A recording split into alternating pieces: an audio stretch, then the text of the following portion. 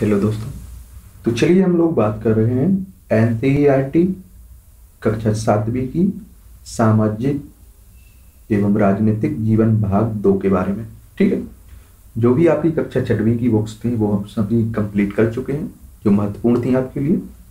आज से हमें बात करनी है कक्षा सातवीं की बुक्स में। तो इसके बारे में हम लोग विषय सूची देख ही चुके थे। आज हम देखेंगे पहला अध्याय इसमें। समानता के बारे में। ठीक है?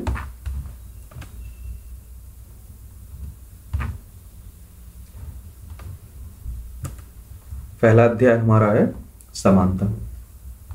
याद रखिए, फिर से यही बोलूँगा मैं कि आप इसे एक कहानी की तरह सुनिए या फिर पढ़िए, क्योंकि कक्षा आठवीं तक की जो भी आपकी एन सी आई टी है, इनमें ज़्यादा दिमाग लगाने लायक नहीं है।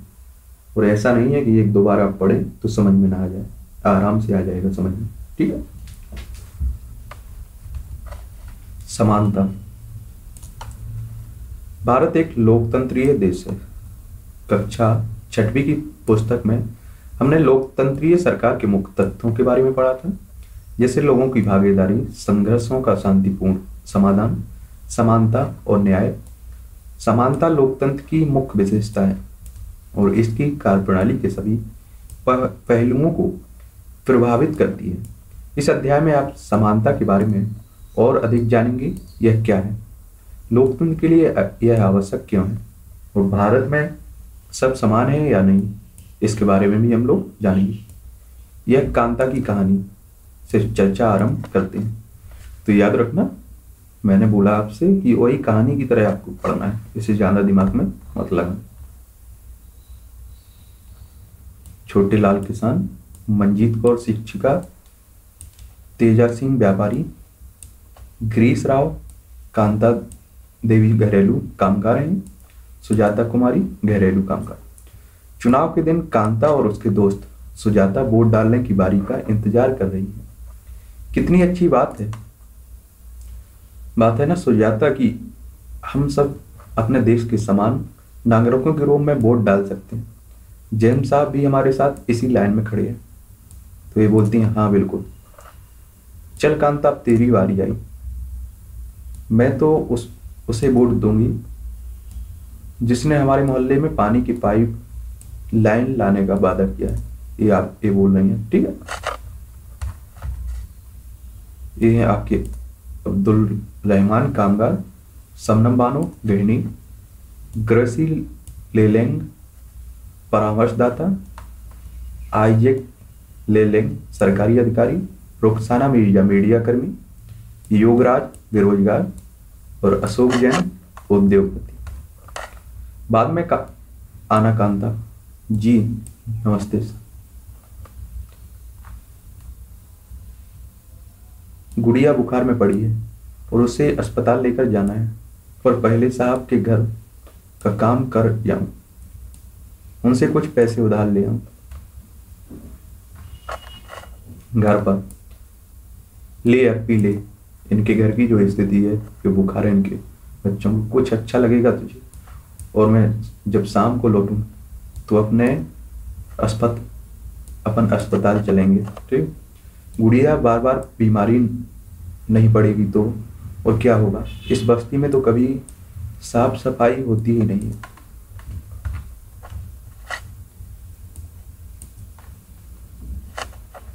मत, मताधिकार की समानता।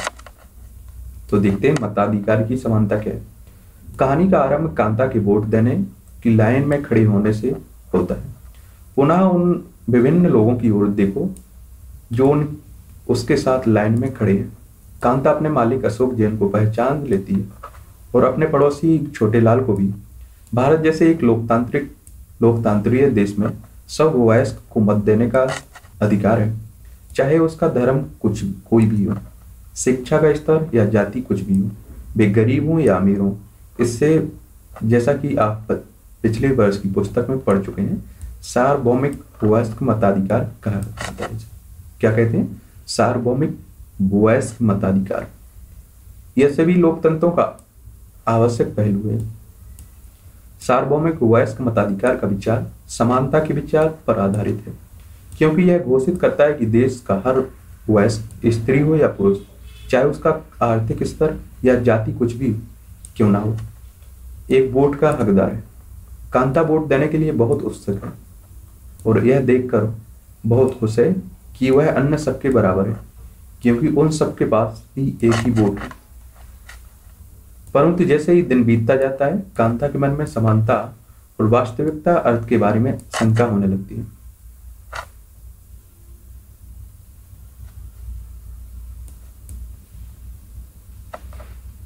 एक मैडम है इनकी जिनके यहाँ काम करती है कांता है कांता ये ले तेरे पैसे, पर पहले से पैसे मांगने की आदत मत बना, समझी?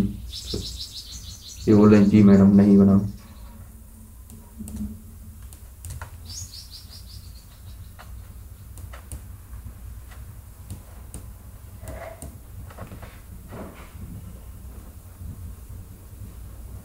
ये अस्पतालों की हालत बयां कर रही है। जैन मैडम और जैन साहब वोट डालने के लिए लाइन में भले ही खड़े हो, रहे हो, पर अपने बच्चों के इलाज के लिए उन्हें लाइन में नहीं लगना पड़ता। यहाँ आया ना असंत, असमता, असमानता। समझ में आया? यह क्या बात है? जिसने कांता के मन में शंका पैदा कर दी आओ उसके जीवन की दिनचर्या देखें। वह एक झोपड़ी पट्टी में रहती है। उसके घर के पीछे एक नाला है।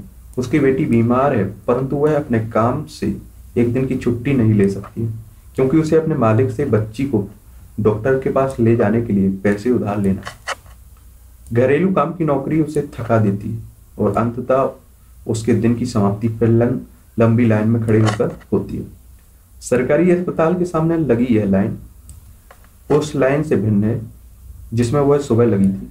क्योंकि इस लाइन में खड़े अधिकांश लोग गरीब थे। अन्य प्रकार की असमानता देखते हैं हम लोग। एक तो हम लोगों ने देख लिए। ये अन्य प्रकार की असमानता में बात करें तो कांता उन लोगों से लो, उन बहुत से लोगों में से एक है जो भारतीय लोकतंत्र में रहते हैं जिन्हें मताधिकार प्राप्त है लेकिन जिनका दैनिक जीवन और कार्य करने की स्थितियाँ समानता से बहुत दूर है। निर्धन होने के कारण अतिरिक्त भारत में लोगों को अन्य अनेक कारणों से भी असमानता का सामना करना पड़ता है। इसका अर्थ है, हम निम्नलिखित दो कहानियों को पढ़कर समझेंगे। ये दोनों ही वास्तविक घटनाओं पर आधारित हैं और भारत में होने वाली विभिन्न प्रकार की असमानताओं पर प्रकाश डालते हैं। पता है, मुझे लगता है कि हम, हमें जो भी शुरू से जो भी किताबें पढ़ाई जाती हैं एक अच्छा इंसान बनाने के लिए भी पढ़ाई जाती है। जो भी कहानी हो, फिर चाहे कोई आपका कक्षा छठवीं से लास्ट तक जो भी आप बुक्स पढ़ते, उनसे हमें कुछ ना कुछ सीखने को मिलता है। बस आप में क्षमता होनी चाहिए सीखने की। कई लोग इसे अपनी परीक्षा पास करने के लिए मजबूरी समझ कर पढ़ लेते हैं। कई उसमें समझते हैं, उसे जानते हैं, तभी आगे बढ़ते हैं। तो आप लोगों को देखते जाना है, समझते जाना है, अपने आप पर कुछ फॉलो करते जाना है। कुर्मी क्षत्रिय। छब्बीस अपॉन पाँच, डैश चार B S C microbio M S C biotech B Ed assistant professor private college हेतु सजातीय चाहिए ब्राह्मण, जिजोरिया, बुंदेलखंडी ब्राह्मण, ध्रुव कौशल गोद गौरवर्ड एम ए तीन विषयों में। एक अन्य डिप्लोमा कोर्स कन्या हेतु बर चाहिए सर्व ब्राह्मण ये तोमर के लिए दिया गया है। मैकेनिकल इंजीनियर सुजिलान हेतु से। ऊपर दिए गए वैवाहिक विज्ञापनों में जाति के सूचना देने वाले अंशों पर गोला बनाइए जाति तोमर हो गई, इस्लिम हो गई, ये ब्राह्मण हो गए, कुर्मी या क्षत्रिय हो गए। भारत में सामान्यतः पिछले असमानताओं में से एक है जातिगत व्यवस्था। यहाँ आप लोगों ने देखा होगा, क्षत्रिय, ब्राह्मण, तोमर इस्लिम गोरी। यदि आप ग्रामीण भारत में रहते हैं तो जातिगत पहचान का अनुभव शायद बहुत छोटी आयु में ही हो जाता है आपको। यदि आप भारत के शहरी क्षेत्र में रहते हैं तो शायद यह सोचेंगे कि लोग अब जात पात में विश्वास नहीं करते। परंतु जहाँ एक प्रमुख समाचार पत्र के वैवाहिक विज्ञापन के कॉलम को देखिए तो आप पाएँगे कि उच्च शिक्षा प्राप्त शहरी भारतीय भारतीय के दिमाग में भी जाति कितनी महत्वपूर्ण है? आइए अब एक कहानी स्कूल जाने वाले एक दलित बच्चे के अनुभव के बारे में पढ़ें। दलितों के बारे में आप पहले ही पिछली वर्ष की पुस्तक में पढ़ चुके हैं। दलित एक ऐसा शब्द है जो निचली कही जाने वाली जाति के लिए लोग स्वयं को संबोधित करने के लिए प्रयोग में लाते हैं। दलित का अर्थ होता है कुचला हुआ या टूटा हुआ। दलित का अर्थ क्या होता है? कुचला हुआ या टूटा हुआ? और इस शब्द का इस्तेमाल करके दलित यह संकेत करते हैं कि पहले भी उनके साथ बहुत भेदभाव होता था और आज भी हो रहा है। ओम प्रकाश वाल्मीकि 1950 से 2013 एक प्रसिद्ध दलित लेखक हैं। अपनी आत्मकथा जूठन में भी लिखते हैं कि स्कूल में दूसरों से दूर बैठना पड़ता था, वह भी ज़मीन पर। अपने बैठने की जगह तक आते आते चटाई छोड़, छोटी पड़ जाती थी। कभी कभी तो एक कदम पीछे दरवाजे के पास बैठना पड़ता था, जहाँ से बोर्ड पर लिखे अक्षर धुंध ले दिखते थे। कभी कभी बिना कारण पिटाई भी कर देते थे, जब भी कक्षा चार में थे, जब भी। तो प्रधानाध्यापक ने ओम प्रकाश से स्कूल और खेल के मैदान में झाड़ू लगाने को कहा, वे लिखते हैं कि लंबा चौड़ा मैदान मेरे वजूद से कई गुना बड़ा है। जिसे साफ़ करने से मेरी कमर दर्द करने लगी थी। धूल से चेहरा सिर अट गया था। मुँह के भीतर धूल घुस गई थी। मेरी कक्षा में बाकी बच्चे पढ़ रहे थे और मैं झाड़ू लगा रहा था। हेडमास्टर अपने कमरे में बैठे थे, लेकिन निगाह मुझ पर टिकी थी। पानी पीने तक की इजाज़त नहीं थी। पूरा दिन मैं झाड़ू लगाता रहा। स्कूल के स्कूल के कमरों की खिड़की, दरवाजे दरवाजों से मास्टर और लड़कों की आँखें छिपकर तमाशा देख रही थी। ओम प्रकाश से अगले दो दिनों तक स्कूल और खेल के मैदान में झाड़ू लगवाई जाती रही। यह क्रम तभी रुका जब उधर से गुजरते हुए उसके पिता ने अपने बेटे को झाड़ू लगाते देखा।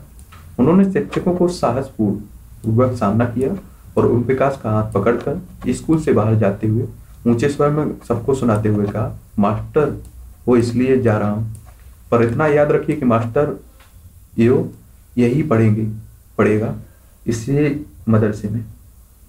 और यो ही नहीं, इसके बाद और भी आवेंगे पढ़ने।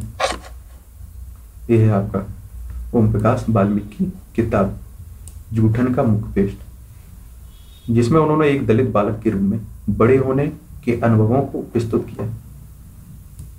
अगर आपने डॉक्टर भीमराव अंबेडकर की आत्मकथा पढ़ी है, बायोग्राफी तो उसमें भी आपको बहुत कुछ सीखने को मिलेगा, किस तरह दलितों का शोषण होता था पहले। अगर आप ग्रामीण क्षेत्र से बिलोंग करते हैं तो आपने वहाँ देखा होगा, शहरों में काफ़ी देखा जाता है। शहरों में भी, लेकिन गाँव में जो ग्रामीण क्षेत्र हैं, वहाँ भी ज़्यादा ही इस तरह की जाति प्रथा में लोग मानते हैं। दूसरी कहानी एक ऐसी घटना पर आधारित है, जो भारत के एक बड़े शहर में घटी, और देश के अधिकांश भागों में ऐसा होना एक सामान्य बात है। यह कहानी श्री और श्रीमती अंसारी की, जो शहर में किराए पर एक मकान लेना चाहते थे, पैसे वाले थे इसलिए किराए की कोई समस्या नहीं थी। वे मकान ढूँढने में मदद लेने एक प्रॉपर्टी डीलर के पास गए। डीलर ने उन्हें बताया कि वह कई खाली मकानों के बारे में जानता है, जो किराए पर मिल सकते हैं। वे पहला मकान देखने गए। अंसारी दंपत्ति को मकान बहुत अच्छा लगा और उन्होंने मकान लेने का निर्णय लिया। फिर जब मकान मालिक, मकान मालकिन ने उनसे नाम सुनते, नाम सुने तो वे बहाने बनाने लगी कि वो मांसाहारी लोगों को मकान नहीं दे सकती, क्योंकि उस बिल्डिंग में कोई भी मांसाहारी व्यक्ति निवास नहीं करता है।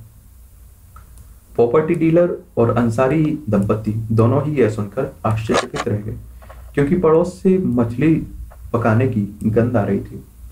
उनके सामने उन दो दूसरे और तीसरे मकान में भी जो उन्हें पसंद आए, थे, यही बहाना दोहराया गया। अंत में प्रॉपर्टी डीलर ने सुझाव दिया कि क्या वे अपना नाम बदलकर श्री और श्रीमती कुमार रखना चाहेंगे। अंसारी दंपत्ति ऐसा करने के इच्छुक नहीं थे, इसलिए उन्होंने कुछ और मकान देखने का निश्चय किया। अंत में लगभग एक महीने ढूँढने के बाद उन्हें एक मकान मकान मालकिन मिली, जो उन्हें किराए पर मकान देने को तैयार थी। तो देखा आपने, असमानता ही तो है। फिर चाहे आपकी ओम प्रकाश वाल्मीकि की किताब हो कहानी हो या फिर इन दंपत्ति की कहानी हो अंसारी दंपत्ति की। ठीक है? मानवीय गरिमा का मूल्य। अब बात करते हैं मानवीय गरिमा का मूल्य अब आप समझ गए होंगे कि प्रयाग कुछ लोगों के साथ असमानता का व्यवहार, बस इस कारण होता है कि उनका जन्म किस जाति, लिंग या धर्म में हुआ है। वे उच्च वर्ग के हैं या मध्यम वर्ग के, या निम्न वर्ग के? ओम प्रकाश वाल्मीकि और अंसारी परिवार के साथ असमानता का व्यवहार जातिगत और धार्मिक कारणों से हुआ है। जब लोगों के साथ असमानता का व्यवहार होता है तो उनके सम्मान को ठेस पहुँचती है। ओम प्रकाश बाल्मीक बाल्मीकि तथा अंसारी दंपत्ति के साथ किए गए व्यवहार के कारण उनकी गरिमा को ठेस पहुँची। ओम प्रकाश वाल्मीकि को उनकी जाति के कारण स्कूल में झाड़ू लगाकर, लगवाकर शिक्षकों और छात्रों ने उनके सम्मान को बुरी तरह आहत किया। उन्हें यह महसूस कराया कि विद्यालय के अन्य छात्रों के समान नहीं उनसे कमतर है। बच्चा होने के कारण ओम प्रकाश वाल्मीकि स्वयं इस बारे में अधिक कुछ नहीं कह सकते। किंतु जब उनके पिता ने अपने बेटे को झाड़ू लगाते देखा तो उन्हें इस असमानता व्यवहार का क्रोध आया और उन्होंने शिक्षकों के समक्ष विरोध प्रकट किया। जब लोगों ने अंसारी दंपत्ति को अपना मकान किराए पर देने से इनकार कर दिया, तब उनके सम्मान को भी चोट पहुँची। फिर जब प्रॉपर्टी डीलर ने उन्हें नाम बदलने का सुझाव दिया, तब उनके आत्मसम्मान ने उन्हें ऐसा करने से रोक दिया।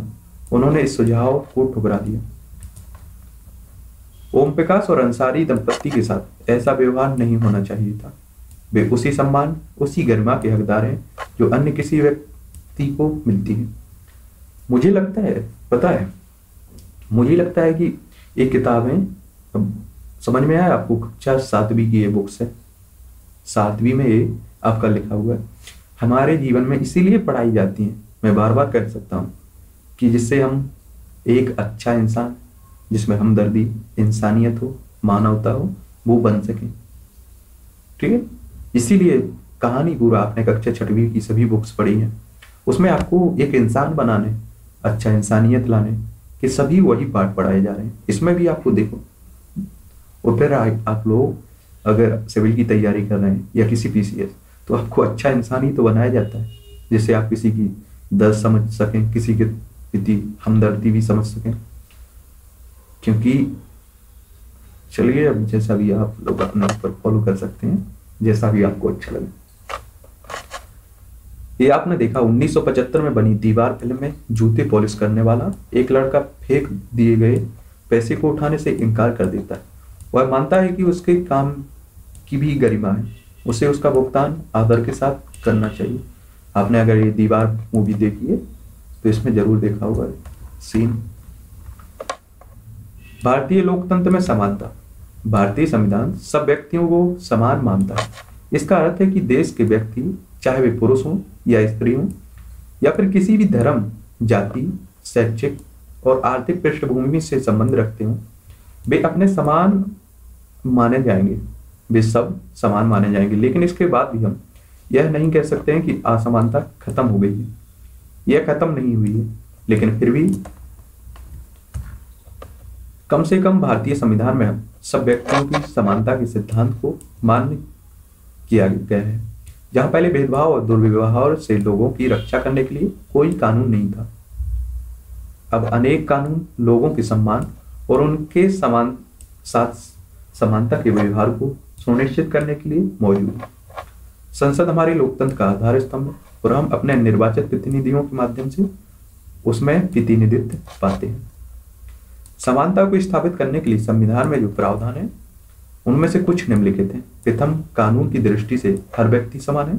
इसका तात्पर्य यह है कि हर व्यक्ति को देश के राष्ट्रपति से लेकर कांता जैसे घरेलू काम की नौकरी करने वाली महिला तक, सभा को एक ही जैसे कानून का, सभी को एक ही जैसे कानून का पालन करना है। दूसरा किसी भी व्यक्ति के साथ उसके धर्म, जाति, वंश, जन्म स्थान उसके स्थान, उसके स्त्री या पुरुष होने के आधार पर भेदभाव नहीं किया जा सकता। तीसरा है, हर व्यक्ति सार्वजनिक स्थानों पर जा सकता है, जिनमें खेल के मैदान होटल, दुकानें बाज़ार आदि सम्मिलित हैं। सब लोग सार्वजनिक कुओं, सड़कों, नहाने के घाट, घाटों का उपयोग कर सकते हैं। चौथा है, अस्पष्टता का उन्मूलन कर दिया गया। ठीक है? शासन ने संविधान द्वारा मान्य किए गए समानता के अधिकार को दो तरह से लागू किया है। पहला, कानून के द्वारा। दूसरा है, सरकार की योजनाओं व कार्यक्रम द्वारा सुविधाहीन समाज की मदद करके। भारत में एक ऐसे अनेक कानून हैं जो व्यक्ति के समान व्यवहार, प्राप्त करने के अधिकार की रक्षा करते हैं। कानून के साथ साथ सरकार ने उन समुदाय जिनके साथ सैकड़ों वर्षों तक असमानता का व्यवहार हुआ है। उनका जीवन सुधारने के लिए अनेक कार्यक्रम और योजनाएँ लागू की हैं। ये योजनाएँ यह सुनिश्चित करने के लिए चलाई गई हैं कि जिन लोगों को अतीत में अवसर नहीं मिले, अब उन्हें अधिकतर अवसर प्राप्त हों। मैं बार बार यही कहता आया हूँ कि कितनी भी योजनाएँ आप लागू कर दो, कितने भी आप कानून ले आओ, लेकिन जब तक जनता या जो निचले तबके का मनुष्य या व्यक्ति है अगर वो जागरूक नहीं होता है तो आपकी योजनाएँ और कानून धरे के धरे रह जाएँगे। समझ में आए क्योंकि जब उन्हें पता ही नहीं है कि उनके अधिकार क्या है, उनके कानून क्या है, उनके लिए क्या योजना है तो कहाँ से फ़ायदा मिलेगा? और अभी भी कितने लोगों को फ़ायदा मिल रहा है? गाँव में देखिए, ग्रामीण क्षेत्र में जाइए, हालत पता चल जाएगा। इस दिशा में सरकार द्वारा उठाए गए एक कदम, मध्यान्ह भोजन की व्यवस्था है। इस कार्यक्रम के अंतर्गत सभी सरकारी, प्राथमिक स्कूलों के बच्चों को दोपहर का भोजन स्कूल द्वारा दिया जाता है। यह योजना भारत में सर्वप्रथम तमिलनाडु तमिलनाडु राज्य में प्रारंभ की गई। तो याद रखना है, भारत में यह योजना तमिलनाडु राज्य में प्रारंभ की गई थी। आपने देखा होगा, अगर आप ग्रामीण क्षेत्र से हैं, अगर आप ग्रामीण क्षेत्र से हैं तो आप बहुत कुछ जान सकते हैं। और बहुत कुछ सीखने को मिलता हुआ। या अगर आप शहरी क्षेत्र से हैं तो आप जाइए कहीं इस तरह के गरीब जहाँ रहते हो, वहाँ के स्कूल में। खाने में देखना, क्या हालत रहती है खाने की। बस खाते हैं लोग, लेकिन वो खाना खाने लायक नहीं होता। है अगर आप वही खाना खाओगे तो आप खाना पसंद बिल्कुल भी नहीं करोगे। 2001 में उच्चतम न्यायालय ने सभी राज्य सरकारों को इस इसे अपने स्कूलों में छह माह के अंदर आरंभ करने के निर्देश दिए। इस कार्यक्रम के काफ़ी सकारात्मक प्रभाव हुए। उदाहरण के लिए, दोपहर का भोजन मिलने के कारण गरीब बच्चों से ने अधिक संख्या में स्कूल में प्रवेश लेना और नियमित रूप से स्कूल जाना शुरू किया। शिक्षक बताते हैं कि पहले बच्चे खाना खाने घर जाते थे और फिर वापस स्कूल लौटते ही नहीं थे। परंतु अब जब से स्कूल में मध्यान्ह भोजन मिलने लगा है, उनकी उपस्थिति में सुधार आया है। वे माताएँ जिन्हें पहले अपना काम छोड़कर दोपहर को बच्चों को खाना खिलाना, खिलाने घर आना पड़ता था, अब उन्हें ऐसा नहीं करना पड़ता। इस कार्यक्रम से जातिगत पूर्वाग्रहों को कम करने में भी सहायता मिली है। क्योंकि स्कूल में निम्न व उच्च जाति के बच्चे साथ साथ भोजन करते हैं कुछ स्थानों पर जो भोजन पकाने के लिए दलित महिलाओं को काम पर रखा गया है। मध्यान्ह भोजन कार्यक्रम ने निर्धन विद्यार्थियों की भूख मिटाने में भी सहायता की है। जो प्रयाग खाली पेट स्कूल आते थे, इस कारण पढ़ाई पर ध्यान केंद्रित नहीं कर पाते थे। उत्तराखंड की एक शासकीय शाला में बच्चों को उनका मध्यान्ह भोजन। आपको बता दें, मैं योजनाओं के खिलाफ कभी नहीं रहा हूँ कि मतलब मेरे नकारात्मक प्रभाव बता रहा हूँ मैं। इसमें मैं इतना बोल रहा हूँ कि सुधार होना चाहिए। जैसे अगर कोई भी योजना आ रही है तो वो सबसे निचले तबके के उस व्यक्ति तक पहुँचना चाहिए, जिसे इसकी ज़रूरत है। तभी तो इसका फ़ायदा हम्म? इसमें सुधार होना चाहिए। इन सभी कार्यक्रमों में जो भी आपकी योजनाएँ हैं, कानून है, और सबसे पहले आपको धरती तक आना होगा। अब आप सोचो कि आसमान से सब कुछ आप लोग जान लें, कुछ नहीं जान सकते। हर आदमी को एक अच्छा इंसान बनना होगा। तभी सब कुछ लागू हो सकता है। ऐसा कुछ भी नहीं है कि जो ना हो। बस आपको ईमानदार होना चाहिए। अभी आप देखोगे कि सबसे नीचे आपका सचिव, सरपंच या प्रधान जैसे प्रधान बोलते हैं। अगर वो, मुझे लगता है वो अगर ईमानदार हो जाए, अपना काम ईमानदारी से करें तो नब्बे से पंचानवे परसेंट समस्याएँ खत्म हो जाएँगी। मैं इतना गारंटी से बोल सकता हूँ। क्योंकि मैं तो वही है कि जनता के सामने तो वही रह रहे हैं। अगर वही नहीं बताएँगे तो जनता क्या समझ पाएगी? लेकिन ये भी क्लियर है कि नब्बे से पंचानवे परसेंट सरपंच किसी लायक भी नहीं है अपना घर देखने के अलावा। जनता उन्हें वोट के समय ध्यान में आती है, वोट डलने के बाद खत्म जनता। आगे बात करते हैं यज्ञपीठ शासकीय कार्यक्रम अवसरों की समानता बढ़ाने में महत्वपूर्ण भूमिका निभा रहे हैं। किंतु अभी भी बहुत कुछ करने की आवश्यकता है। मध्यान्ह भोजन कार्यक्रम से निर्धन बच्चों का स्कूल में प्रवेश और उनकी उपस्थिति को तो बढ़ा दिए लेकिन फिर भी इन देश में, इस देश में वे स्कूल जहाँ अमीरों के बच्चे जाते हैं, उन स्कूलों में बहुत अलग है, जहाँ गरीबों के बच्चे पढ़ते हैं। आज भी देश में कई स्कूल हैं, जिनकी ओम प्रकाश वाल्मीकि जैसी दलित बच्चों के साथ भेदभाव और असमानता का व्यवहार किया जाता है। इन बच्चों को ऐसी असमानता स्थिति में धकेला जाता है जहाँ उनके सम्मान की रक्षा नहीं हो पाती है। ऐसा इसलिए क्योंकि कानून बन जाने के बाद भी लोग उन्हें समान समझने से इनकार कर देते हैं। इसका मुख्य कारण यह है कि दृष्टिकोण में बहुत धीरे धीरे परिवर्तन आता है। यद्यपि लोग यह जानते हैं कि भेदभाव का व्यवहार कानून के विरुद्ध है, फिर भी जाति, धर्म, अपंगता, आर्थिक स्थिति और महिला होने के आधार पर लोगों से असमानता का व्यवहार करते हैं। वर्तमान दृष्टिकोण को बदलना तभी संभव है जब लोग यह विश्वास करने लगे कि कोई भी कमतर नहीं और हर व्यक्ति सम्मानजनक व्यवहार का अधिकारी, प्रजातंत्रीय समाज में समानता और स्थापित करने का एक सतत संघर्ष है, जिसमें व्यक्तियों और विभिन्न समाजों को सहयोग देना है। इस पुस्तक में आप इसके बारे में और पढ़ेंगे। ये है आपके भीमराव अंबेडकर अपने आत्मसम्मान को दाव पर लगाकर जीवित रहना अशोभनीय है। आत्मसम्मान जीवन का सबसे ज़रूरी हिस्सा है। इसके बिना व्यक्ति नगन है। आत्मसम्मान के साथ जीवन बीतने के लिए व्यक्ति को कठिनाइयों पर विजय प्राप्त करनी होती है। केवल कठिन और निरंतर संघर्ष से ही व्यक्ति बल, विश्वास और मान्यता प्राप्त कर सकता है। मनुष्य नाशवान है। हर व्यक्ति को किसी न किसी दिन मरना है। परंतु व्यक्ति को यह संकल्प लेना चाहिए, वह अपने जीवन का बलिदान, आत्मसम्मान के उच्च आदर्शों को विकसित करने और अपने मानव जीवन को बेहतर बनाने में करेगा किसी साहसी व्यक्ति के लिए आत्मसम्मान रहित जीवन जीने से अधिक आशोभनीय और कुछ नहीं है। ये बी बी आर अंबेडकर साहब का कथन है। समझ में आया? आगे बात करते हैं अन्य लोकतंत्रों में समानता के मुद्दे। शायद आप सोच रहे होंगे कि क्या भारतीय लोकतंत्र ही ऐसा है, जहाँ असमानता का अस्तित्व है और जहाँ समानता के लिए संघर्ष जारी है। सच तो यह है कि संसार के अधिकांश लोकतंत्रीय देशों में समानता के मुद्दे पर विशेष रूप से संघर्ष हो रहे हैं। उदाहरण के लिए, संयुक्त राज्य अमेरिका में अफे अफ्रीकी अमेरिकन लोग, जिनके पूर्वज गुलाम थे, वे अफ्रीका ले आए गए। वे आज भी अपने जीवन को मुख्य रूप से आसमान बताते हैं। जबकि 1950 के अंतिम दशक में अफ्रीकी अमेरिकनों को समान अधिकार दिलाने के लिए आंदोलन हुआ। इससे पहले अफ्रीकी अमेरिकनों को के साथ संयुक्त राज्य में बहुत असमानता का व्यवहार होता था और कानून भी उन्हें समान नहीं मानता था। उदाहरण के लिए, बस से यात्रा करते समय उन्हें बस में पीछे बैठना पड़ता था। जब भी कोई गोरा आदमी बैठना चाहे, उन्हें अपनी सीट में उठना पड़ता था। समझ में आया?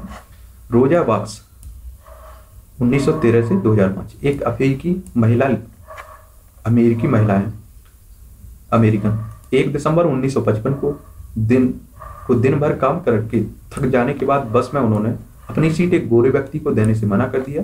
उस दिन उनके इंकार से अफ्रीकी अमेरिकों के साथ असमानता को लेकर एक विशेष, विशाल आंदोलन हुआ, जो नागरिक अधिकार आंदोलन, सिविल राइट्स मूवमेंट कहलाए उन्नीस के नागरिक अधिकार अधिनियम में ने नस्ल, धर्म, राष्ट्रीय मूल के आधार पर भेदभाव को निषेध कर दिया। इससे यह भी कहा कि अफ्रीकी अमेरिकी बच्चों के लिए सब स्कूल के दरवाजे खोले जाएँगे और उन्हें उन अलग अलग स्कूलों में नहीं जाना पड़ेगा जो विशेष रूप से केवल उन्हीं के लिए खोले गए। इतना होने के बावजूद भी अधिकांश अफ्रीकी अमेरिकी गरीब हैं। अधिकतर अफ्रीकी अमेरिकन बच्चे केवल ऐसे सरकारी स्कूलों में प्रवेश लेने के ही सामर्थ्य रहते हैं, रखते हैं जहाँ कम सुविधाएँ और कम योग्यता वाले शिक्षक जबकि गोरे विद्यार्थी निजी स्कूलों में जाते हैं या उन क्षेत्रों में रहते हैं, जहाँ के सरकारी स्कूलों का स्तर नीचे स्कूलों से जैसा है। तो ये तो अपने यहाँ भी आपने देखा होगा कि आपके यहाँ भी ये असमानता लंबे उससे। अब बात करते हैं भारत के संविधान के अनुच्छेद पंद्रह के अंश। भारतीय संविधान के अनुच्छेद पंद्रह के अंश। देखते हैं। धर्म मूल वंश जाति लिंग या जन्म स्थान के आधार पर। विभेद का तिथि से। राज्य किसी नागरिक के विरुद्ध केवल धर्म मूल वंश जाति लिंग जन्म स्थान या इनमें से किसी के आधार पर कोई विभेद नहीं करेगा। कोई नागरिक केवल धर्म मूल वंश जाति लिंग, स्थान या इनमें से किसी के आधार पर।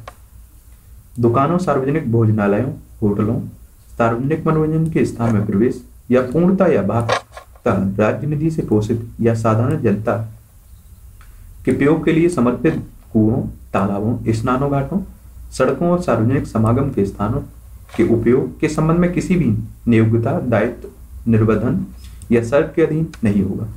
ठीक है? अब बात करते हैं लोकतंत्र में की चुनौती क्या है आखिर। किसी भी देश को पूरी तरह से लोकतंत्रीय नहीं कहा जा सकता। है हमेशा से ऐसे समुदाय और व्यक्ति होते हैं जो लोकतंत्र को नए अर्थ देते हैं और अधिक से अधिक समानता लाने के लिए नए नए सवाल उठाते हैं। इसके केंद्र में वह संघर्ष है जो सब व्यक्तियों को समानता और सम्मान दिलाने का पक्षगर है। इस पुस्तक में आप पढ़ेंगे कि किस तरह समानता का प्रश्न भारतीय लोकतंत्र में हमारे दैनिक जीवन के विभिन्न पहलुओं को प्रभावित करता है। इन पाठों को पढ़ते हुए विचार कीजिए कि क्या सब व्यक्तियों की समानता उनके आत्म सम्मान को ऊँचा रखने की भावना को लोग स्वीकार कर रहे हैं या नहीं? ठीक है तो यह था हमारा पहला अध्याय, समानता। ठीक है? ये आपके अध्याय कुछ आपके प्रश्न है, अभ्यास के लिए करते लेना। और याद रखना, इस इस पीडीएफ को हम लोगों ने टेलीग्राम पर डाल दिया है। ठीक है, वहाँ से डाउनलोड कर लेना। और इसलिए मैं आप लोगों से गुजारिश करता हूँ हो सके तो ज़रूरी नहीं है। अगर आपके अंदर कुछ लगता है कि सही है तो आप इस तरह के जो भी आपके लेक्चर हुआ करेंगे, जो जनता के लिए हुआ करेंगे, हर व्यक्ति के लिए सुन चाहे फिर वो तैयारी कर रहा हो या नहीं कर रहा हो तो शेयर ज़रूर कर दिया करिए। ठीक है? इससे हमारा कुछ नहीं बिगड़ेगा, ना तुम्हारा कुछ। लेकिन किसी को अगर एक को भी फ़ायदा हो रहा है तो मेरे लिए बहुत खुशी की बात है।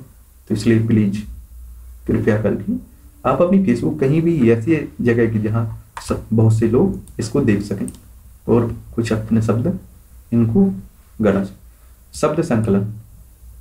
सार्वभौमिक वयस्क मताधिकार। यह लोकतंत्र समाज का एक अत्यंत महत्वपूर्ण पहलू है। इसका अर्थ है कि सभी वयस्क 18 वर्ष या उससे अधिक आयु के नागरिकों को वोट देने का अधिकार है, चाहे उनकी सामाजिक या आर्थिक पृष्ठभूमि कुछ भी हो। गरिमा। इसका तात्पर्य अपने आप को और दूसरे व्यक्तियों को सम्मान युक्त समझने से है। संविधान, यह वह दस्तावेज़ है जिस, जिसमें देश की जनता व सरकार द्वारा पालन किए जाने वाले नियमों और अधिनियमों को निरूपित किया गया नागरिक अधिकार आंदोलन, यह एक आंदोलन जो संयुक्त राज्य अमेरिका में 1950 के दशक के अंत में प्रारंभ हुआ और जिसमें अफ्रीकी अमेरिकन लोगों ने नस्ल भेद, नस्लगत भेदभाव को समाप्त करने, समान अधिकारों की मांग की थी। ठीक है? तो ये आपका पहला चैप्टर खत्म होता है। आगे दूसरे चैप्टर में हम लोग बात करेंगे, स्वास्थ्य में सरकार की भूमिका, स्वास्थ्य के क्षेत्र में सरकार की भूमिका के बारे में। ठीक है?